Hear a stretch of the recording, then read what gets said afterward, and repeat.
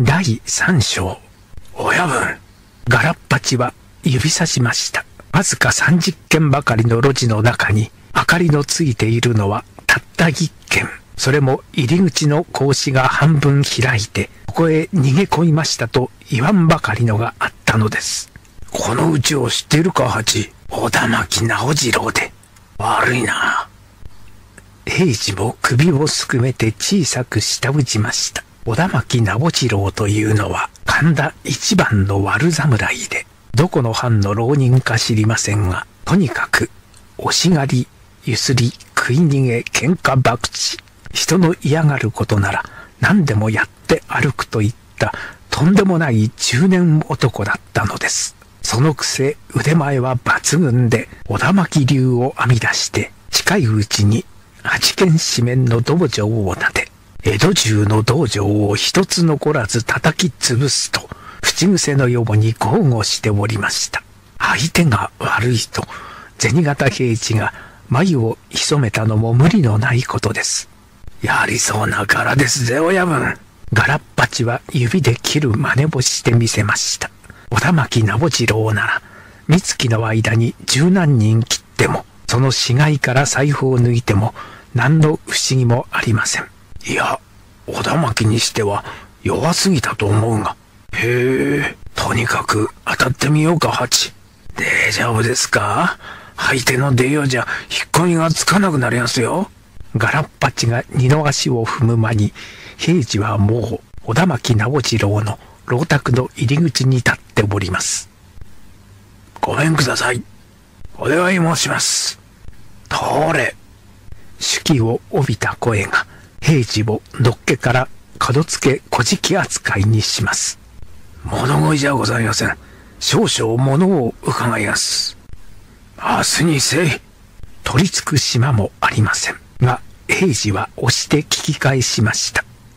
小田巻先生がいらっしゃいましょうか。私は平次でございますが。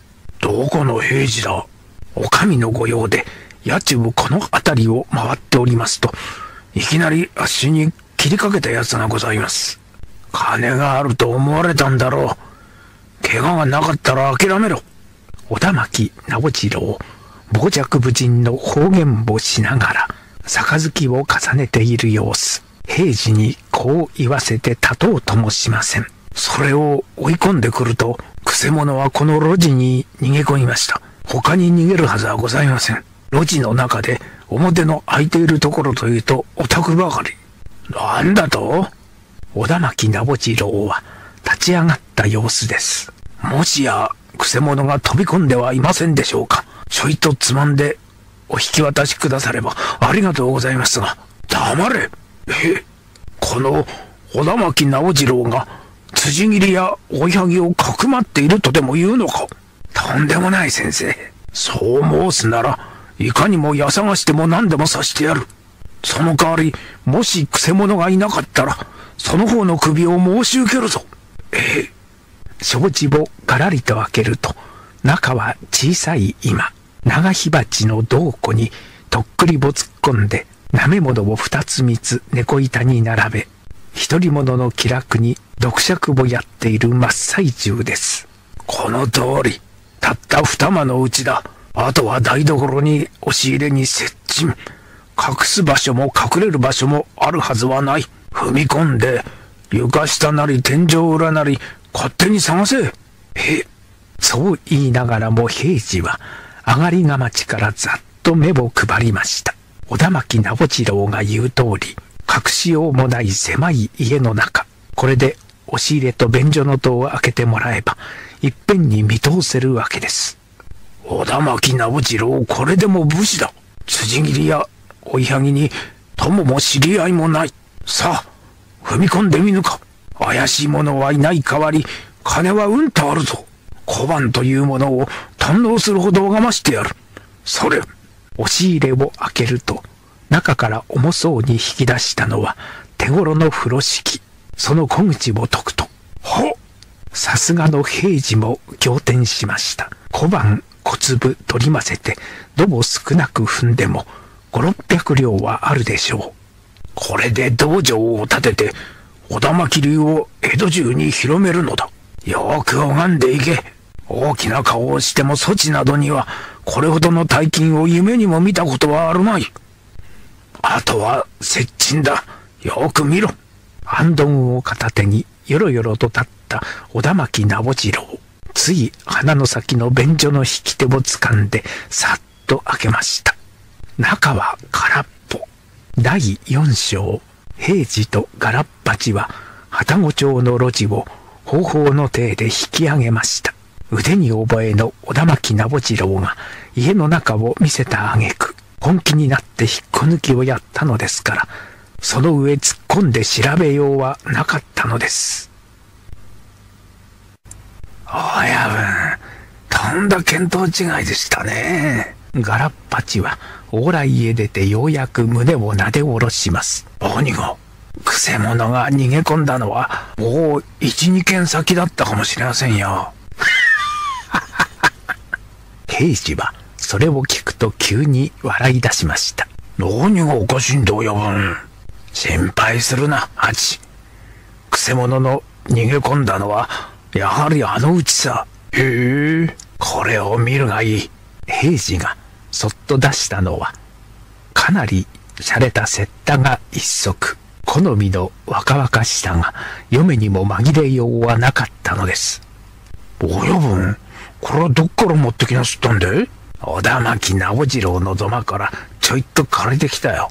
へえ、これをやらかしたんで。ガラッパチは目の前へ持っていった人差し指を曲げてみせました。そんなことはどうでもいいよ。ええそんなもんすかね。このセッターを見て何か気のつくことはねえか、ハチ。洒落た履物っすね。こんな暗部に白鹿川の花を。町人じゃありませんね。旗本か御家人。それとも工面のいい浪人者？それから、突っかけて履いた具合。浅木浦じゃありませんね。粋な若い武家ですね。それから、あとはわかりませんよ、親分。肝心のことに気がつかねえ。それ、裏金がねえだろう。お、なる。新しいセッタの裏金を剥がして履いて歩くのはどんな人間だい？筋切り？その通り。このセッタが小田巻の入り口にあったんだ。それじゃやはり。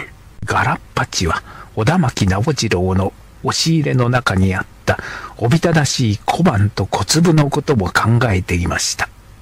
だがな、ハチ。小田巻直次郎が、身に覚えがあるなら、なんだって金を見せたんだい?それが、明日にはわからねえ。ガラッパチは司祭らしく、小首をかしげます。落ち着けねえ金を持つと、人に見せびらかしたくなるのかねえ、ハチ。ちえねえ。だがしかし、それでは説明しきれないものが、二人の胸に大きく根を張っているのでした。割り切れない心持ちで明かした一晩。明くる日は、局面がすっかり変わっておりました。